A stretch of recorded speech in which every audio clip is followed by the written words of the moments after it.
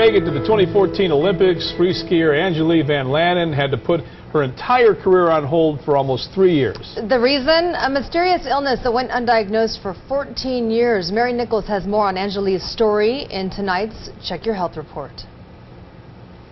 Angelique VanLaanen, 27 years of age. This is my dream job. I feel very fortunate to be able to do it full time. Angelique VanLaanen is one of the top female free skiers in the world. It's always been my favorite out of all the sports that I've tried throughout the years. She has dreams of making it to the Olympics, a dream that seemed way out of reach just a few years ago. We just kept going to different doctors to try and figure out what was going on. When she was 10 years old, Angeli started feeling ill. She had chronic sinus infections, felt fatigue, and suddenly developed dyslexia. And so throughout the years, we just kind of went with one diagnosis, would treat that, but it would never really go away. Some doctors even told her it was all in her head.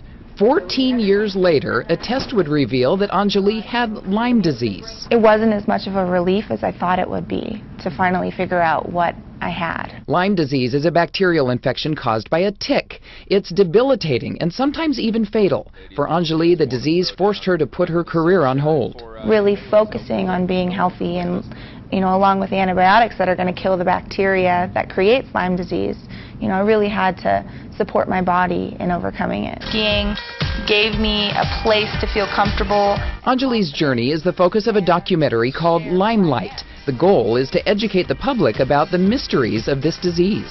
Because when I was diagnosed, everyone in my life had a real hard time understanding what I was going through. She is back to competing, whether she's competing for gold or competing to stay healthy. I have to focus to be in a healthy place for the rest of my life. I need to support my body in keeping Lyme disease in remission because when it's at an advanced stage like I had it, there are chances that it could come back. Mary Nichols for Check Your Health. Well, there is no cure for Lyme disease. To watch the documentary Limelight, we do have a link for you on our website. Just go to KUTV.com and then click on the Check Your Health link. Long sleeves, long pants in the yard. Uh, that's one way you can try to, Yeah. uh, yeah, because uh, you never know when one of those ticks might get on you. And we have them uh, across the Mountain West, so you got to be extra careful, especially in the summertime. Good advice, Mark.